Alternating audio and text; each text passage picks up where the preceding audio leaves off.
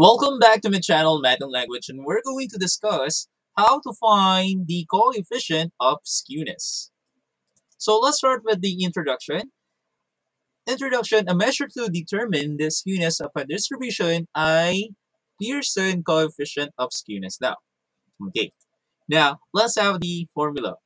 So SK is the coefficient of skewness. Thus, ang numerator part natin, that will be 3 times mo sa mean minus sa median. So, 3 times the quantity mean minus median. Over mo siya sa standard deviation. Now, we have to take note, when the distribution is symmetrical, the coefficient is 0. At kapag ang distribution naman daw ay positively skewed, the coefficient naman will be positive. Ah, at kapag ang distribution ay negatively skewed, and of course, the coefficient is negative.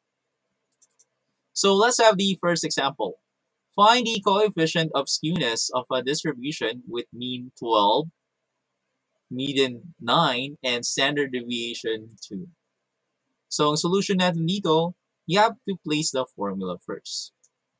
Next, lagay mo yung mean as 12 at Sunod mo dito yung median na 9 at standard deviation ng 2.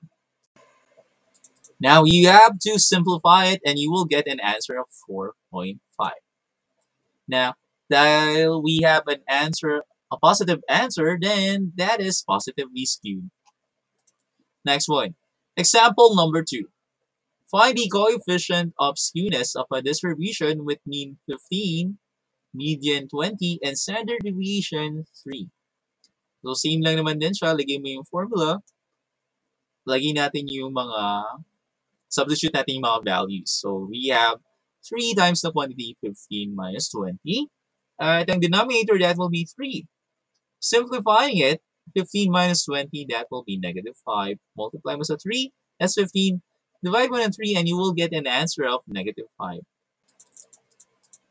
And dahil we have a negative answer, that means it is negatively skewed. And that's the end of the lesson on how to find the coefficient of skewness. If you would like to comment or suggest another math and language video or kung may assignment kayo, please comment down below. Again, this is James, your math and language instructor. Please like and subscribe and also click the bell notification para updated kayo sa bagong videos ng math and language. I'll see you again. Thank you. Goodbye.